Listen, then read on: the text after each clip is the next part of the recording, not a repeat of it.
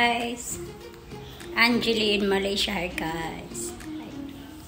Today guys is Saturday and it's already 11 o'clock in the morning. Ayan. And ay, kumusta? Kumusta? Kumusta pala kayo lahat guys? Angeli in Malaysia here guys. And today pala guys, alam niyo guys, this whole week very very ano busy. Or nag general cleaning ako guys uh, from uh, taas hanggang baba. Uh, all uh, uh, nilinis ko na lahat. Sliding door bead sheet cortina lahat pinalitan ko na. Map so very very very tired. And today guys uh, Since sobrang haba na ng buhok ko guys. Ayan deh. Ayan. Sobrang haba na niya guys. So, today pupunta tayo ng hair salon. Ayan. Magpa hair treatment tayo guys ng buhok kasi sobrang haba na niya. And then yung yung gusto kong ipano siya ipat uh, trim. Ayan. So, punta tayo ng hair salon. And then, kasi maglaglaga naman to siya guys. Kasi sabi pag sobrang haba na raw yung buhok maglaglagan kaya kailangan rin yun ng vitamins. Hair vitamins. Ayan so punta tayo ng hair salon. No we have to take breakfast first. Pala hindi pa ako kumain guys. Hindi pa ako nag-almusal.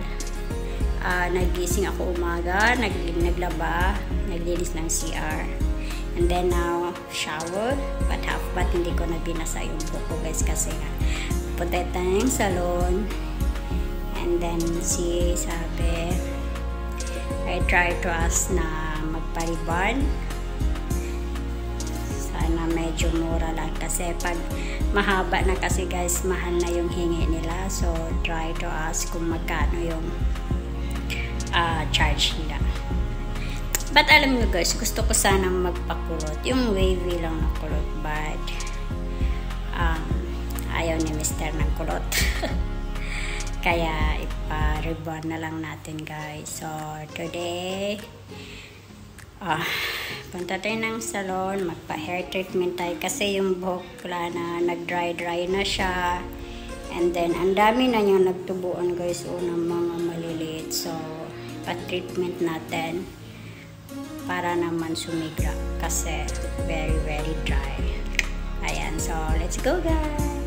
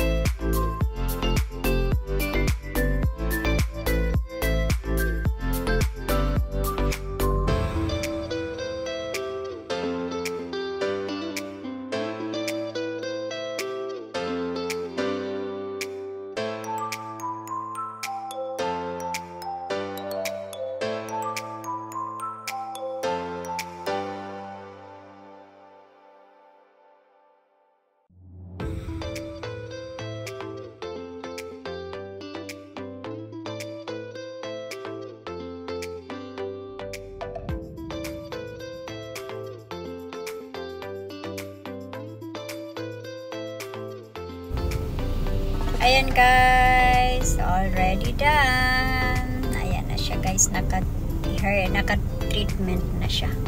Ayan, naka hair treatment na yan siya guys. Ah, uh, medyo magaan na sa pakiramdam guys kasi mga kaspa-kaspa natin dyan. Ayan. Pero still mahaba pa rin siya guys kasi ayan, mahaba pa rin siya. Mahaba pa rin siya guys kasi uh, konti lang yung pinaano ko, pinabawas. Kasi sa sa nasasayangan ako guys eh, kaya konti lang. Ayan. Pero ano na siya guys. Then shiny na siya. Sobrang shiny na niya. And then, sobrang gaan sa pakiramdam. Ayan. So, once a while. And then, um, you have to shower alternate every two days. Uh, every two days guys, bas, ano ba yung have to put shampoo. Hindi araw-araw hindi araw-araw basahin yung buhok guys hindi araw-araw magsha-shampoo kasi masisira daw eh so everyday have to take half bath uh, i-ano mo lang yung buhok mo i ang tawag guys i-ipit ba tapos every 2 days mo lang ihugasan yung buhok shampoo and then conditioner and then para healthy healthy yung buhok tapos hindi siya maglaglagan. Ayan yan, yan din naman yung ginagawa ko na every 2 days. Tsaka, na, tsaka ko na ano um, uh, basahin yung buhok. Ko everyday have to take shower half bath but yung hair. Uh, every two days ako nag, nag, naghuhugas ng buhok uh, shampoo with conditioner. So kaya maganda yung strain ng buhok walang split ends and then maganda yung tubo ng buhok guys. Ayan. Ayan. Today relax guys. Kasi tomorrow medyo busy kami tomorrow guys. Kasi may prayer kami sa bahay. So busy tomorrow. And then Monday is uh, Deepavali Day. Punta kami ng temple early morning. And then pupunta kami sa mga pinsan ni Mr. ayan so ayan guys magaan na sa pakiramdam kasi naayos na yung buhok. Ang tagal, ang tagal ko na rin nagpano guys nagpariban. Oh nagpa-ribbon tsaka nagpa-hair treatment. I think uh, uh, 2-3 years na. Kaya ang tagal na niya. So ngayon okay na siya guys nice. Mahaba pa rin siya tsaka shiny na siya. Tsaka yung mga kaspa-kaspa natin na wala na charot ayan so ayan guys. Done na done done done medyo gumana yung pakiramdam ko guys na, na ano na siya na na na na, na, na ribbon na siya. Tas na ano daw yan na treatment pa pina-treatment. Kaya medyo gumana yung pakiramdam ko. Tsaka yung mga kaspa-kaspa natin dyan na wala na. Very hot guys nandito kami sa labas ng parking. Kasi ano bibili si Mr. ayan guys. Thank you for watching. Mag-ingat kayo palagi. Bye bye